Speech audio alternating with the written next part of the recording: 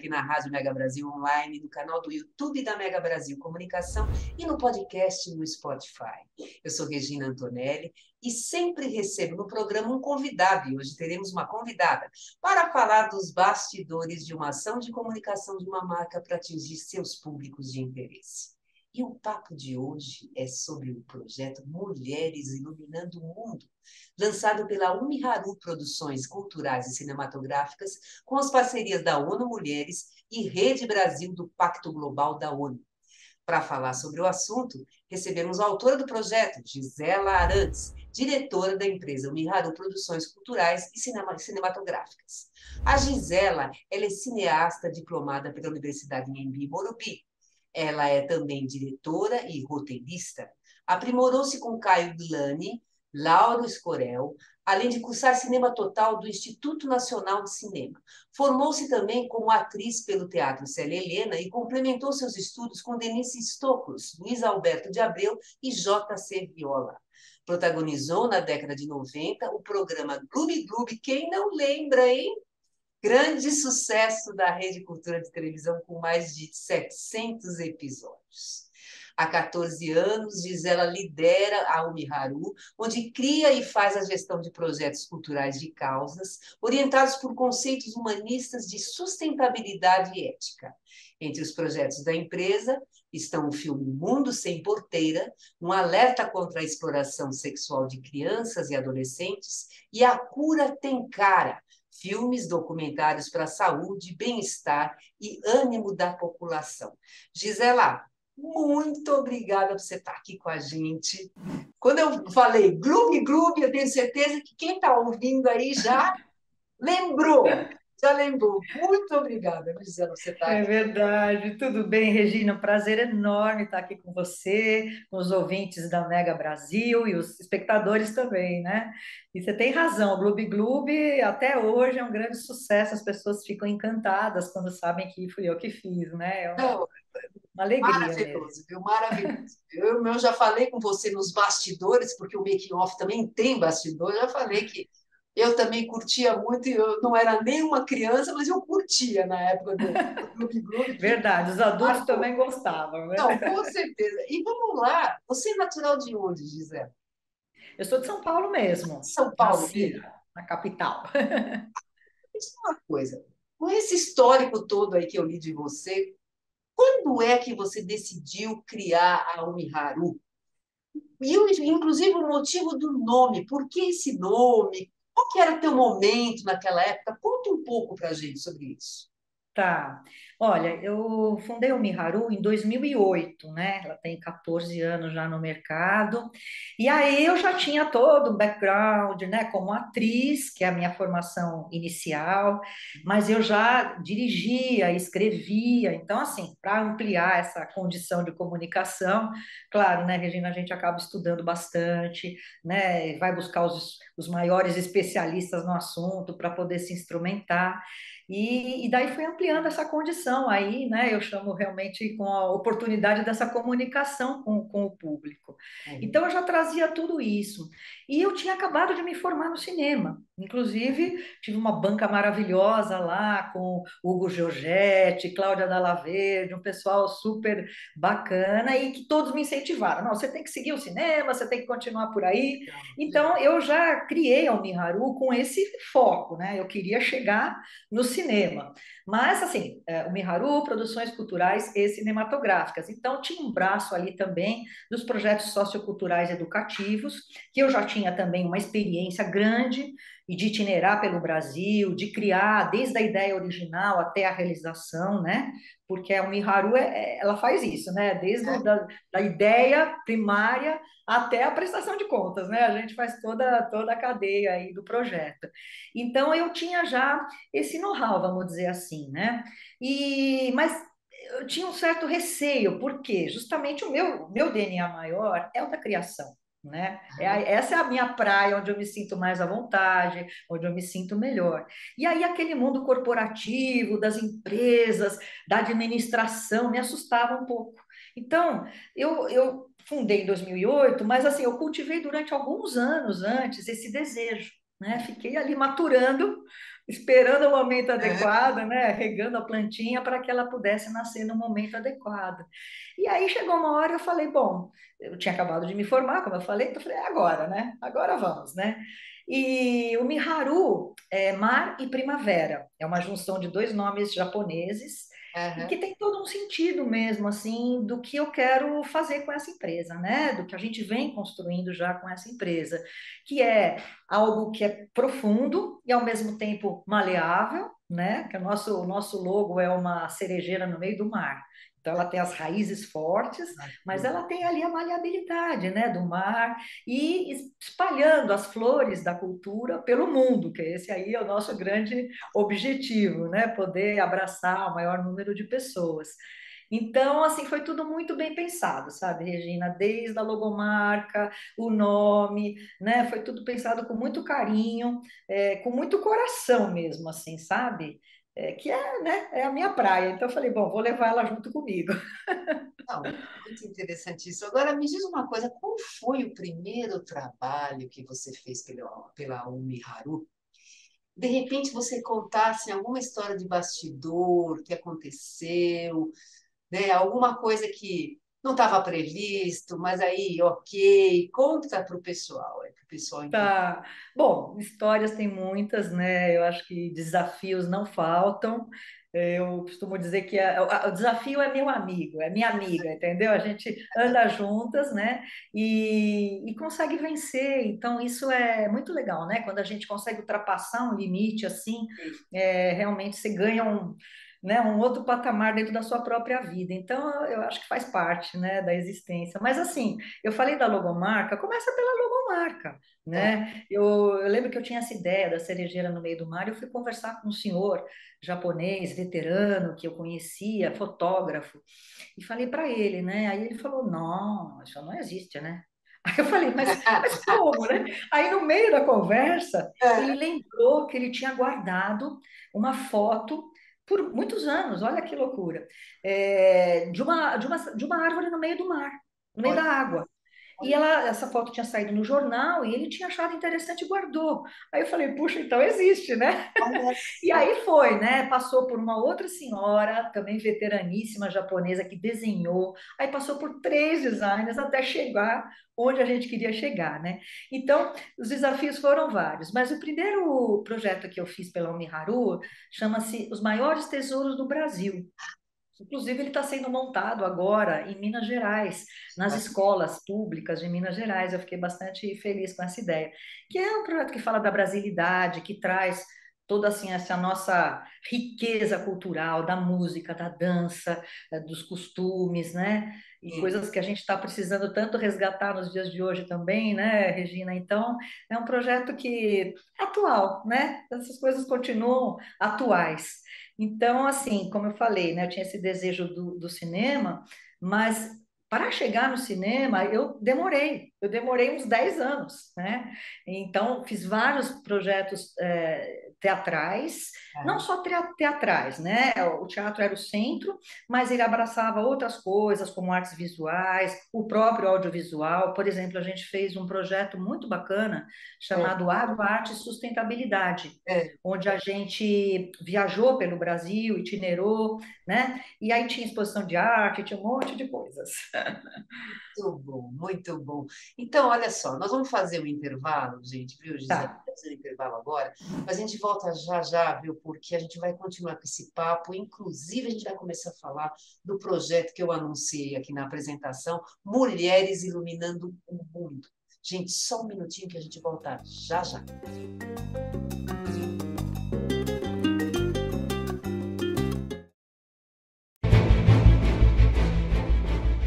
A Mega Brasil entra em conexão internacional para debater e analisar a comunicação, a pandemia e os efeitos do coronavírus na sociedade. Conexão Internacional é um programa que traduz diferentes realidades a partir da análise de jornalistas baseados na Europa e nas Américas. Rosana Dias, do Canadá.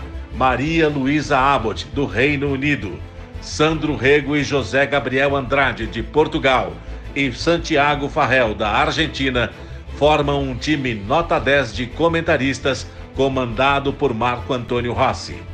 Conexão Internacional é veiculado todas as sextas-feiras, às 15 horas, aqui na sua Rádio TV Mega Brasil Online, um canal a serviço da comunicação. Na minha entrada, se eu tivesse uma aula dessa aqui no início, com certeza hoje eu estaria em outra situação.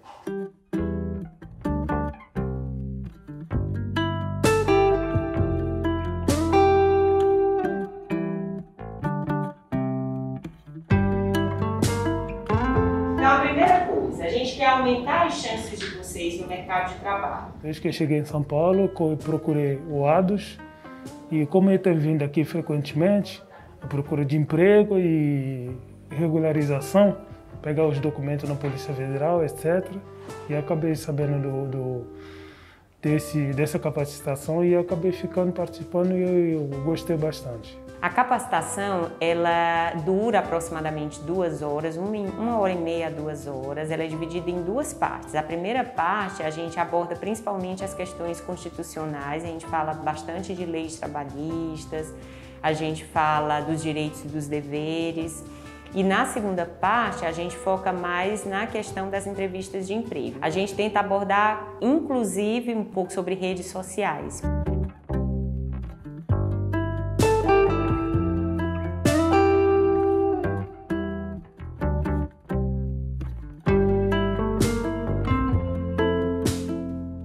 eu vi o quanto a gente é leigo nessa parte de, de lei trabalhista brasileira, que a gente somos estrangeiros. Aprendi bastante coisa, né? Coisas que eu não sabia, achei que eu sabia muita coisa sobre, é, porque já trabalhei em várias empresas, achei que sabia, mas tem muita coisa que eu não sabia.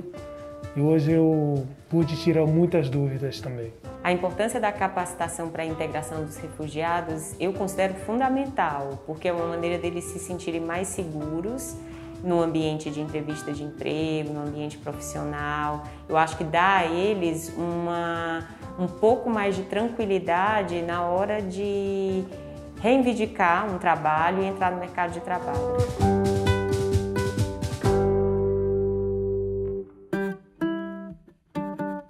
Mesmo no cenário de pandemia, a gente ainda conseguiu se reinventar e, e conseguir levar adiante nosso trabalho com bastante contratações e isso motivou bastante a gente em não desistir ou minimizar nossos esforços no período de pandemia.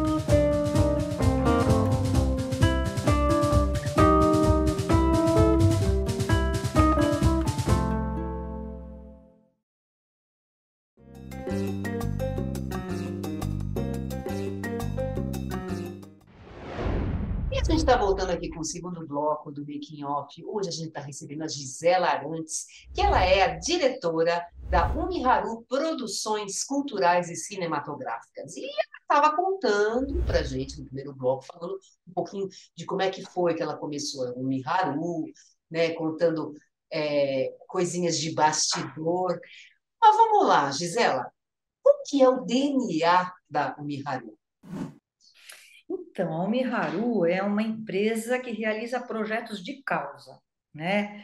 É, e agora, principalmente na área audiovisual, né? Já há alguns cinco anos para cá eu venho é, totalmente aí imersa no cinema, mas sempre tratando de temas que a gente julga super importantes para a sociedade, né? Que, que, que a gente compreende que são demandas da sociedade, porque assim, né, Regina, eu acho que a arte ela traz por si só, o entretenimento, né, a cultura faz parte. Então, a gente quer ir além do entretenimento, né? A gente quer trazer algo de valor à sociedade, que empodere as pessoas, que ajude as pessoas a refletirem e, e que inspire elas a agir, né? A, a poder fazer algo diferente e, e, melhorar, né? Esse mundo que a gente está vivendo.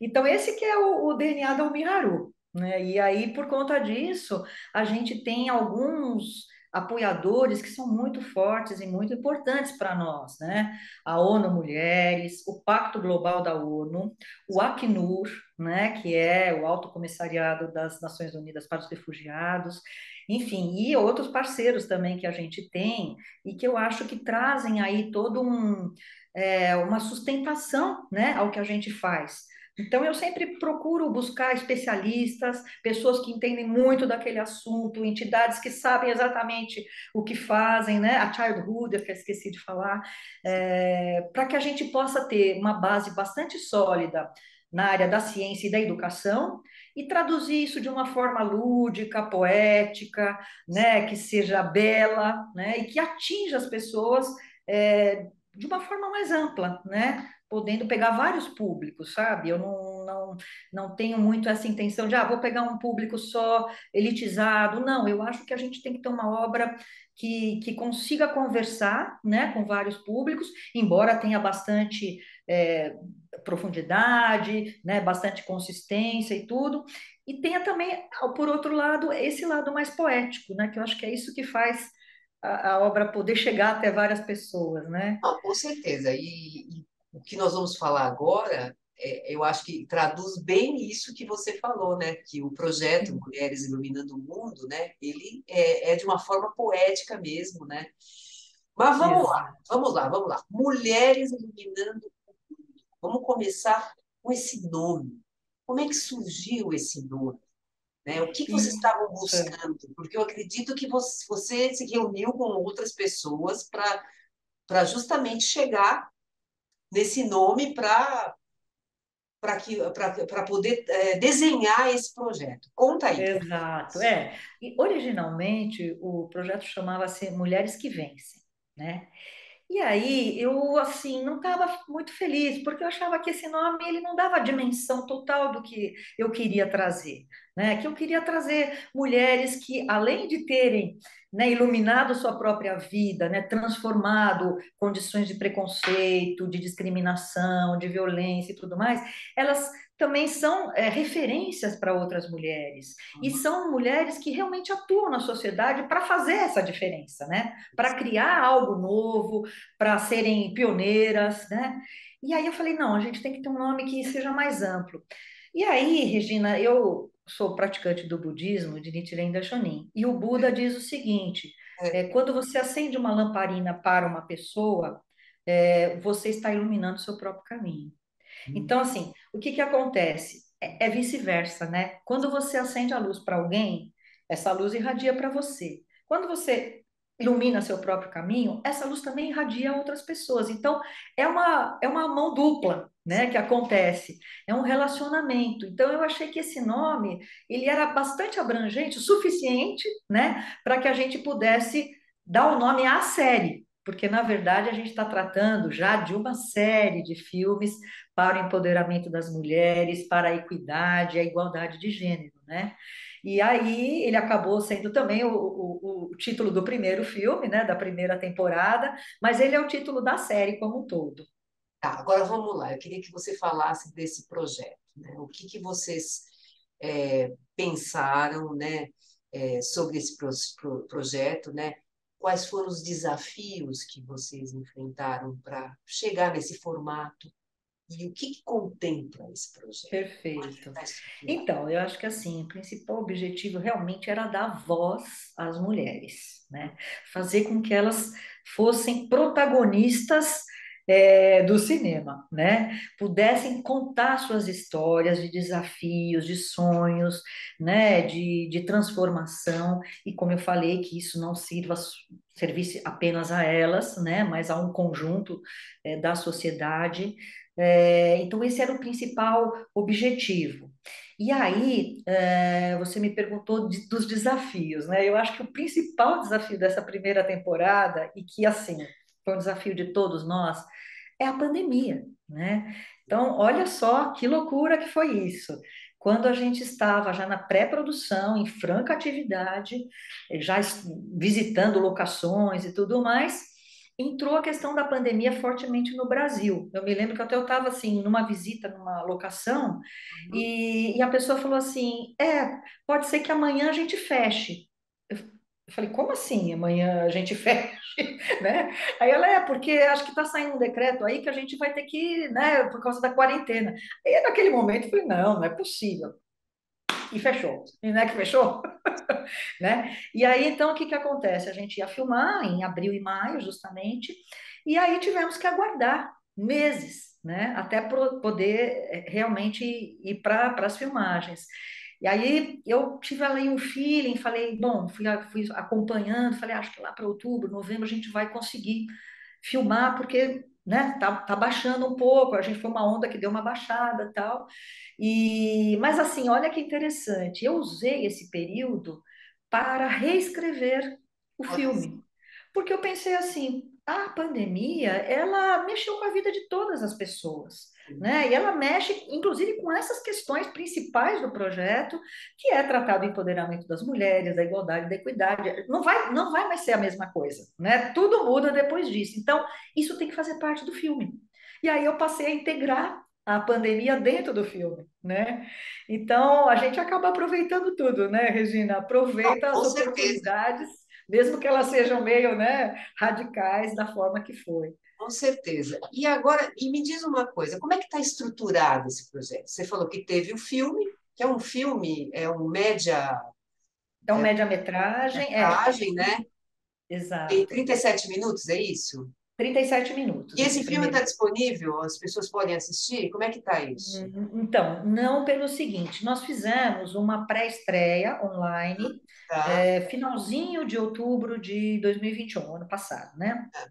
E aí, é, deixamos disponível aí alguns dias é, para que as pessoas pudessem assistir, e realmente ele não está agora disponível porque está seguindo carreira de festivais, ah. né? E a gente sabe que se ele tivesse disponível, dificultaria esse, esse processo aí dos festivais. E a gente também tem outras intenções com o filme, de poder, é, enfim, estar dentro de um streaming ou de uma TV e tudo mais. Sim, Porém, a gente tem dentro do projeto, é, dessa primeira temporada, oito pílulas de filmes de cinco minutos cada. Então, cada uma dessas pílulas é, trata da história de uma das personagens que estão também integrando esse média-metragem, né? E aí a gente faz um, um, recorte desta pessoa, fala sobre ela e tal. E essas pílulas estão disponíveis no YouTube do Mulheres Iluminando o Mundo, também no Facebook na parte dos, dos vídeos, né? E, e, também na, nas redes da Umiharu. Então, está disponível. E aí, Regina, o que acontece é que o projeto foi se ampliando cada vez mais. Então, para fazer esses lançamentos dessas pílulas, a gente foi é, realizando debates, que a gente chamou de conversas que iluminam. Sim, eu fizemos vi, debates. Um, eu vi no, no YouTube, eu vi um debate que vocês. Você assistiu? Então, eles estão disponíveis também. E assim, é, foram debates incríveis, né? Porque a gente foi pegando vários temas dentro desse grande universo que o filme aborda e trazendo gente assim de referência mesmo, pessoas que conhecem muito cada um desses assuntos, né, que são pessoas da área de, de inclusão e diversidade, né? Então teve gente muito bacana participando e aí depois a gente fez também três podcasts com a Mais Diversidade, com a consultoria, fizemos uma parceria com eles, né? Então, cada pílula foi lançada com um desses eventos e todos estão disponíveis aí. Então, assim, tem muito material para a pessoa assistir. E fora isso, Regina, a gente também tem dentro do projeto o ecossistema digital, que é uma inteligência, vamos dizer assim, né, é, online, é, que faz uma ligação entre todas as redes sociais, o site, mas principalmente entre grupos, né? Entre pessoas e grupos que têm afinidade, que tratam sobre essa temática. A gente consegue fazer um mapeamento do que está sendo dito, o que está sendo é, é, abordado naquele momento, né? Qual que é a bola da vez, que é o dashboard. Então, é. assim, até quero falar o nome de duas pessoas que estão comigo nesse projeto, muito importante. Mas espera só um pouquinho, espera só um pouquinho, que você vai continuar com esse papo, que nós vamos dar uma detalhada legal no próximo bloco. Segura aí, Gisela, segura aí, pessoal, porque a gente vai falar muito mais coisa ainda. Mas e você não, não, não esquece nossas duas pessoas que você quer falar. Eu acho que eu até sei quem são, mas vamos lá, vamos lá. Só um minutinho, gente.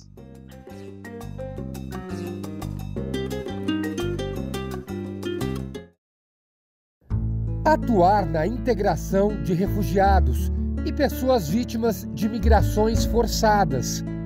Essa é a missão do Instituto ADOS. São oferecidas aulas de português, orientação jurídica e auxílio para entrar no mercado de trabalho. Aqui, eles também garantem uma fonte de renda ensinando seu idioma e cultura. Faça parte dessa luta.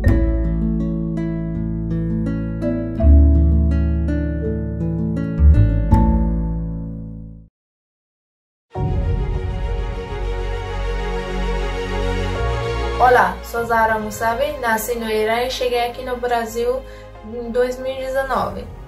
Assim como a Zara, muitas pessoas em situação de refúgio no Brasil têm dificuldades com as leis e burocracias do país. Por isso, o ADOS oferece orientação jurídica gratuita por meio dos nossos advogados voluntários. Logo que cheguei, pedi refúgio, mas o processo é muito demorado e difícil de entender, e ainda estou esperando uma resposta para o meu. A gente sabe que existem barreiras culturais, de idioma, além do medo e da insegurança que dificultam o acesso aos direitos. E por isso, é, qualquer solicitante de refúgio ou refugiado já reconhecido ou qualquer pessoa em outra situação migratória pode procurar o Instituto ADOS para poder tirar as suas dúvidas. Mas ter uma orientação de boa qualidade é muito importante para nós refugiados por vários motivos. Sem conhecer nossos direitos aqui no Brasil, fica difícil de conseguir emprego e estudo, por exemplo. O ADOS já prestou assistência jurídica para cerca de 335 refugiados de 38 nacionalidades diferentes. Até maio de 2021, por exemplo, foram atendidos aproximadamente 35 casos por mês. Tanto na área de regularização migratória, autorização de residência para fronteiriços, renovação do protocolo de refúgio, orientação sobre os processos do CONARE, além de dúvidas eh, trabalhistas e de todas as áreas do direito, como locação, separação, alimentos, direitos sociais e programas do governo e muitas outras questões que estamos sempre a postos para orientar e encaminhar as demandas administrativamente ou judicialmente para as entidades parceiras. Por isso, você que está me assistindo e tem uma pequena dúvida ou um grande problema, não deixe de nos procurar. Ficaremos felizes em atendê-lo. Ficamos muito perdidos quando chegamos aqui e um trabalho como o nos ajuda a recomeçar nossas vidas. Muito obrigada.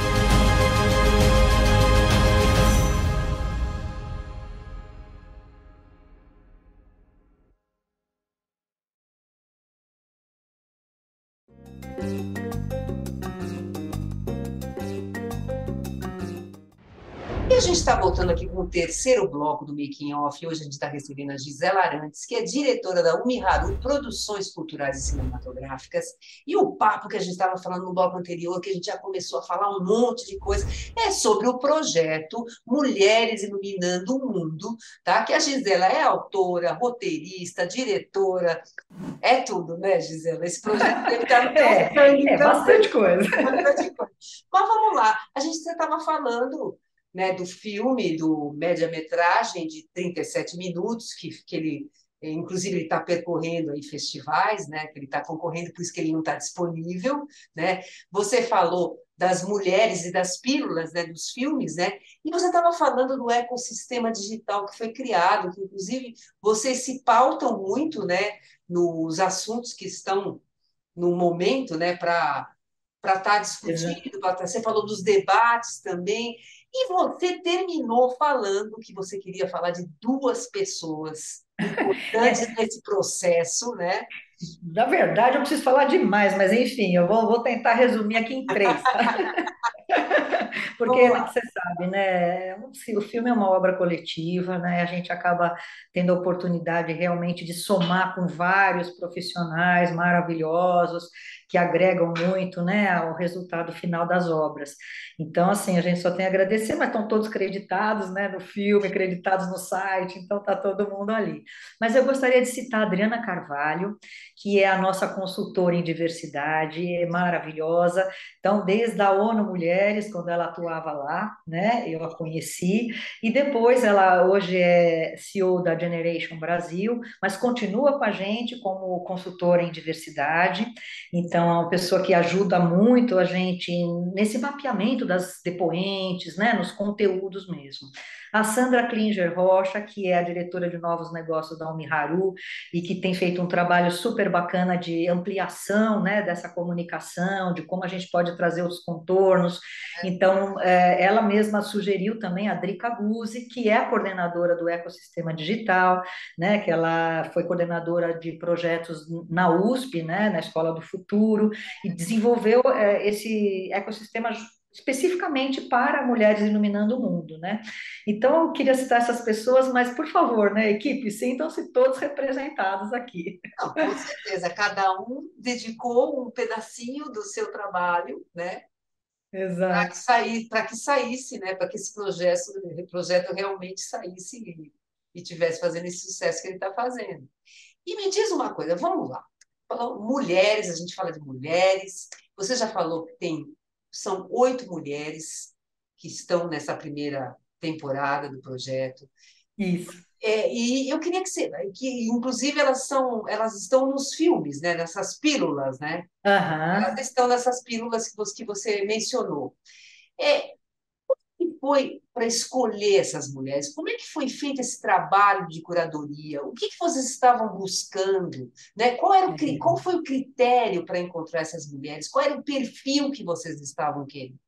Sim, foi muito difícil, viu, Regina? Porque felizmente a gente tem mulheres maravilhosas que estão assim desenvolvendo um trabalho incrível na sociedade, né? Então, tinha tanta gente legal, isso foi tão difícil, né? A minha lista era enorme. Então, como é que foi isso? Primeiro, a gente teve pesquisador mesmo, né, trabalhando especificamente em cima dos pilares que eu estava uh, uh, dando ao filme, né? E que são Primeiramente, é, a própria diversidade. Né? Então, a gente queria que dentro dessa, dessas oito mulheres a gente tivesse diferenças étnicas, é, etárias, é, de região, regionais, né? enfim, que a gente pudesse trazer o máximo possível dessa diversidade dentro do próprio filme, né? mulheres brancas, pretas, indígenas, pudesse ter todo mundo ali representado. Também mulheres pioneiras, né, que atuam em áreas tradicionalmente lideradas por homens. Então, elas estão ali, são desbravadoras, estão rompendo limites, né? estão trazendo junto outras mulheres, e que são mulheres que têm, então, também essa veia de poder é, criar algo social em torno de si. Né? É, enfim, são vários pilares e também o, o pilar do, da própria, do próprio cinema, né? O que serve melhor a obra, o que compõe melhor, né? Então tudo isso faz parte e a gente foi filtrando tal até conseguir chegar em oito mulheres maravilhosas. E se você me permitir, vou falar um pouquinho de cada uma delas. Vamos lá. Cada uma delas, então, está representada numa pílula própria, né? São pílulas é, então, de cinco tem... minutos, é isso o filme? Cada pílula tem cinco minutos. É o celular, não tem problema. Vamos lá. Cada uma tem cinco minutos é, e estão disponíveis, como eu tinha dito, na, no YouTube, né? Então, a gente tem a Sandra Benites, que é a nossa grande representante indígena, Guarani em Andeua, e ela é antropóloga, doutora em antropologia, e a primeira curadora adjunta do MASP, né? Inclusive, recentemente teve a exposição que ela é, ajudou a coordenar. Uh, Nízia Trindade, nossa maravilhosa presidente da Fiocruz, que fez um trabalho incrível aí na, na Covid, né? Inclusive foi reconhecida no mundo inteiro por conta disso, e é a primeira mulher em 120 anos a ocupar essa posição. Olha que loucura. Paula Pascoal, né, na época CEO da PayPal Brasil, hoje diretora da Google Pay da América Latina, né? Então também mulheres que conseguem chegar ali no topo, a gente sabe que é onde está a maior dificuldade né, para as mulheres. Então, ela trouxe essa representação. A Aline Maria da Silva, motorista é, da 99, que passou por uma, uma trajetória assim de bastante desafio, veio da comunidade, é, teve assédio sexual, sofreu agressão física, né, do, do, patrão, tudo isso e deu a volta por cima, né, venceu o machismo e trouxe junto várias mulheres nessa, nessa nova situação dela, né. Fernanda Ribeiro, presidente da Afrobusiness e cofundadora da Conta Black, então também trazendo aí o valor, né, para que as mulheres negras pudessem se empoderar economicamente também, financeiramente, né? Sônia Guimarães, nossa primeira doutora negra do Brasil, né? Física e também é, professora do ITA, né? Do Instituto Tecnológico de Aeronáutica. É, Major Carla Lessa, que é a primeira pilota de helicóptero do Brasil, é, atua ali no Corpo de Bombeiros de Minas Gerais e foi uma heroína em Brumadinho, né? Salvou várias vidas, foi a primeira equipe a chegar no local. Então tem muita história para contar também. E a Miriam Monteiro, que é a nossa grande representante aí da agricultura, né? Ela é planta cafés orgânicos em larga escala e é presidente da Aliança Internacional das Mulheres do Café. Então você vê que um outro pilar também que a gente foi uma escolha é que cada uma representa um setor da sociedade muito importante, né? Um setor que impulsiona tanto economicamente quanto dá o padrão, né? Cultural, é, atua ali com o comportamento. Então é, isso também foi um, um critério de escolha. E me diz uma coisa, todas essas pílulas estão no ar? Todas estão no ar, disponíveis. o público pode assistir, vai ser um prazer, né? E os debates também, viu? Os debates, os podcasts, está tudo disponível aí. Quem quiser se aprofundar em cada tema, tá aí. Coisa de bastidor. Fui. Vamos lá. Porque é o seguinte, são mulheres, ok, mulheres maravilhosas, mas nenhuma é atriz, né? E aí, como é que foi para conduzir isso com essas mulheres na gravação dessas pílulas? Como é que foi isso? É, eu procuro deixar assim, uh, criar um clima bem à vontade, né? Uh, primeiramente, eu faço a parte mais da, das, das imagens gerais, né, pegando elas em movimento, elas em atuação mesmo. Então eu fui, eu fui em cada local, né? Fui aonde elas estão.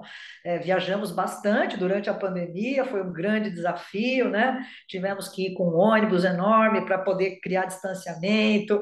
Era, Nossa. enfim, tudo muito diferente, muito teste de covid no meio do caminho, né? e Olha. tudo feito com muita segurança. Então, isso também foi muito legal, porque assim, não aconteceu nada, né? Nenhum incidente com ninguém. É, mas aí, assim, cada uma tem um perfil e a gente vai tentando entender como lidar com cada uma, né? Como que a gente consegue extrair o melhor de cada uma delas dentro da sua própria personalidade. Teve situações assim, por exemplo, a Nízia da Fiocruz, foi muito difícil a agenda dela. Ela queria muito fazer o filme, mas a gente não encontrava agenda, porque ela é extremamente ocupada. E aí, quando finalmente a gente conseguiu a agenda dela, fomos até o Rio de Janeiro, é, ela teve uma, outra entrevista que acabou tendo que dar para uma, uma emissora estrangeira antes, e aí, quando chegou a hora dela gravar, a gente tinha assim, tipo, meia hora. Eu falei, nossa, e agora, né? Mas aí eu fui assim, Falei, bom, agora vai, né? Você precisa aqui. E ela é tão maravilhosa, assim, ela tem tanto conhecimento, é uma mulher muito inteligente, né? E ela foi assim, naquele período ali, ela falou tudo que ela precisava, né? Então, assim, a gente realmente conseguiu extrair o melhor dela ali também naquele momento. E assim, né, Regina, cada um é um universo, e a gente tem que é, justamente acho que o papel da direção é também esse, né? É entender como lidar com cada pessoa e como poder extrair o melhor de cada uma. Com certeza. Agora, me diz uma coisa: é, você tem algum resultado de audiência alcançado pelo projeto, de uma maneira geral, até Opa, esse momento? Tem, eu tenho um resultado assim extraordinário, né? Em oito meses que a gente mapeou é, por meio desse ecossistema digital, para você ter uma ideia, todas as, toda semana nós fazíamos uma reunião para ir acompanhando né, os índices, para ir medindo caso a caso como é que estava acontecendo, as pílulas, né, os debates, a, as redes sociais, né, o, a, o, ingresso das pessoas e tudo mais. E a gente atingiu 6 milhões e 800 mil pessoas em oito meses. Que, que é um número assim muito considerável, né? E ainda mais a gente pensar em audiovisual, né? Então, assim, foram mais de 500 mil visualizações das pílulas. Então, são números assim muito expressivos e que a gente tem bastante alegria, né, de poder compartilhar com vocês isso. E assim, depois de um certo ponto a gente parou um pouquinho de fazer essa essa ferição, né? Mas tenho certeza que esse número já aumentou muito. Não, com né? certeza. Mas e aí, previsão de uma nova temporada? Opa, sim, já estamos em franca atividade aí de pré-produção do segundo filme. Sim. E nesse segundo filme, não vou dar muito spoiler, não, viu? Tá. Mas enfim, nós vamos trazer outros perfis, né? Que obviamente o primeiro que tinha oito mulheres, mas a gente não consegue abraçar todo tipo de situação, né? Necessária. Então a gente vai trazer outros contornos, vamos falar da questão da acessibilidade, da questão do transgênero, outras coisas que eu também não vou dar muita, muito pitaco agora, não. Mas assim, é, já estamos preparando, já estamos é, mapeando essas depoentes, né? E já com a previsão de filmagem. A ideia é que a gente lance em meados, metade mais ou menos de 2023. E também, Regina, já estamos com a terceira temporada em captação de recursos. Essa terceira temporada, ela vai ser muito, muito legal, assim, também é muito querida do meu coração, porque nós vamos tratar das refugiadas imigrantes no Brasil, Olha que né? Que é um tema super importante, por isso que o Acnur também entrou como nosso parceiro, eles vão ser os consultores técnicos do filme, né? E estamos abertos aí a quem quiser contribuir com a gente. Justamente esse é o momento mais adequado para isso, né? Com certeza. Então vamos aproveitar aí que eu quero que você passe todos os contatos da Umiharu, onde que as pessoas podem assistir os, as pílulas, qual que é o endereço do site? Vamos lá, passa. Quem Perfeito. quiser colaborar com o projeto, como é que é? Vamos lá. Tá. Olha, o, o site é Mulheres Iluminando o Mundo, Iluminando o Mundo, sem o no meio, tá. ponto .org.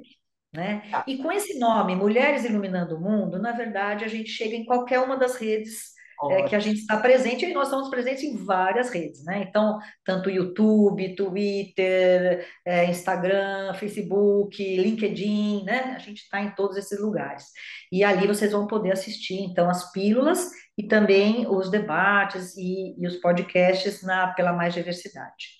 É, em relação ao, ao, contato com a Miharu, a gente tem o telefone nosso, que é 011 5061-5742, vou repetir, 5061-5742, ou o e-mail, né? vai, vai passar aqui. Ou o e-mail, o miharu, arroba o miharu.com.br, que também é fácil de guardar, né? Só ter o nome o Miharu na mente. E, e fiquem à vontade, vai ser um prazer a gente dialogar e encontrar o caminho aí né, de, de estarmos juntos nesse, nesses projetos tão bonitos e nessa série, né, que pretende aí seguir e cada vez trazendo contornos novos, ampliando, aprofundando, podendo discutir mais e mais essa questão e contribuir um pouco aí para transformar a sociedade nesse sentido. Com certeza, Gisela, muito obrigada, viu? Foi muito legal, viu? Eu, que agradeço, que Poderia... Desculpa, acho que eu falei demais, né? Não, você foi ótimo, foi ótimo, foi maravilhoso. Eu tenho certeza que o pessoal adorou. Quem está ouvindo agora está adorando também. Obrigada, vamos... querida. Ela, olha, obrigada. E eu preciso passar uns recadinhos para o pessoal aí de, de, casa. Olha, Perfeito. o programa Making Off ele vai ao ar toda quarta-feira, às 10 horas da manhã. Para acessar, www.radiomegabrasilonline.com.br, na rádio. Tá? Se você também quiser, você pode entrar no canal do YouTube da Mega Brasil Comunicação, entra lá, acha o programa, toca o sininho, porque toda vez que tiver entrevista nova, você vai ser avisado, você não vai querer perder, não é mesmo? E a gente também está no podcast do Spotify. Gente, um grande beijo para vocês e até a próxima. Tchau, Gisela. Tchau, obrigada, Regina, obrigada a todos que estão aí com a gente. Grande abraço.